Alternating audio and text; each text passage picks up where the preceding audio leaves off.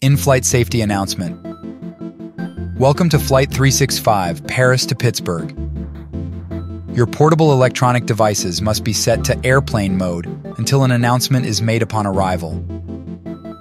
Ladies and gentlemen, the fasten seatbelt sign has been turned on. Be sure all carry-on items are securely stowed in an overhead bin, and place smaller items under the seat in front of you. Ensure all aisles are clear. If you are seated next to an emergency exit, please read the special instruction card.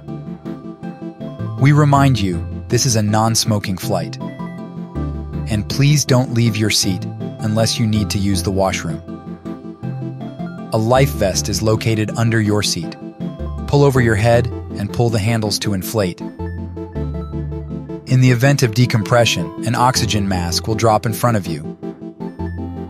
This flight has an in-flight entertainment system for your enjoyment. Our flight attendants are here to answer all your questions. It's our pleasure to serve you.